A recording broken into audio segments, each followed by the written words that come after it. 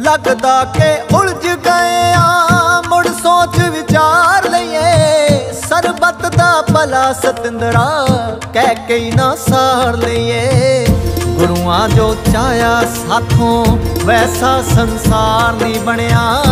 ਇੰਨਾ ਕੁਛ ਬਣ ਗਿਆ ਲੇਕਿਨ ਕੁਦਰਤ ਤੋਂ ਪਾਰ ਨਹੀਂ ਬਣਿਆ।